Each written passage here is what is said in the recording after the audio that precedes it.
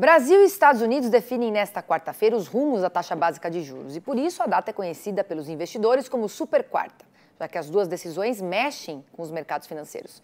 Nos Estados Unidos, analistas acreditam que o Federal Reserve, Banco Central norte-americano, deve manter as taxas de juros no patamar que estão atualmente é, no intervalo entre 5,25% e 5,50% ao ano. No Brasil, a expectativa é que o Comitê do Banco Central promova um novo corte de meio ponto percentual na Selic, que passaria de 12,75% para 12,25%. Caso a expectativa se confirme, seria o terceiro corte consecutivo na taxa desde agosto, início do ciclo de baixa. Hora da nossa análise econômica.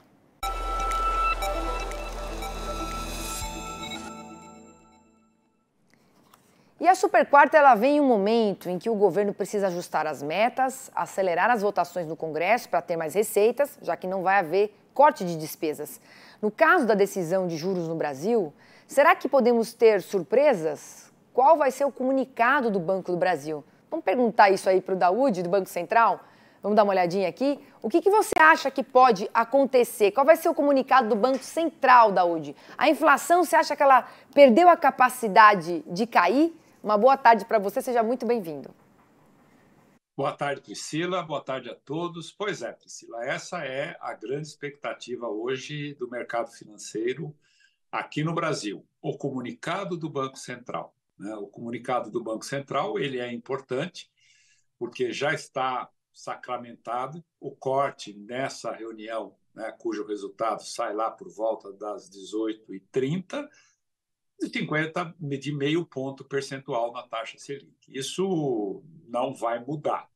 No entanto, o que ocorreu aí nessa semana em relação ao cumprimento da meta de inflação, é, perdão, ao cumprimento do superávit, o presidente Lula disse que não vai cortar uma vírgula do, é, é, das nossas despesas do orçamento, vai continuar gastando. Ele está sendo pressionado, evidentemente, pela ala do PT, contra, chefiada pela Gleisi Hoffmann, que, evidentemente, ela é presidente do PT, no ano de eleição. Você já imaginou cortar despesas? Isso, sem dúvida nenhuma, vai levar a um cenário de que o PT, a imagem do governo, vai ficar negativa. Então, conclusão: não se corta despesa. O Lira está dizendo o seguinte: olha, o Congresso está insatisfeito. Né? Por que, que o Congresso está insatisfeito? Eu vou dizer aqui, porque o Congresso quer ir 6 bilhões de reais para o fundo eleitoral. Sabe, Aquela, aquele, aquelas despesas que o deputado vem na televisão, rádio, propaganda, dizendo que vai resolver a educação, vai resolver a segurança. Neste caso, é, é, é, são as prefeituras, né? que agora as, as coisas serão diferentes, nós vamos melhorar a cidade, enfim, aquela pataquada toda que nós sabemos que levam o nosso dinheiro, está aí a situação das cidades no Brasil muito ruim.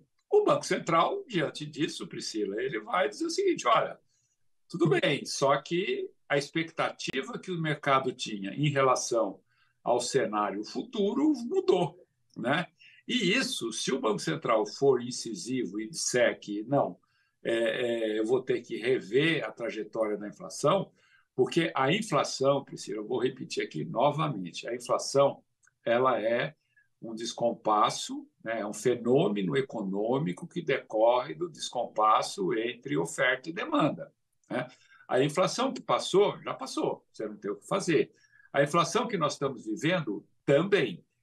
O correto, quer dizer, o, o, o, a inflação futura é que determina a inflação presente. E a inflação futura ela está calçada no sentimento do mercado. Então você fala assim, poxa, o governo vai economizar, eu vou ter, ter que aumentar meus preços aqui, porque a inflação vai subir. Então, a falta de um gerenciamento adequado das expectativas traz para o presente o cenário que o mercado está vendo lá na frente, que é não combater o, o rombo das contas, das contas públicas, é um cenário ruim para a inflação. Então, é exatamente isso. E o Banco Central ele é mestre para gerenciar a expectativa.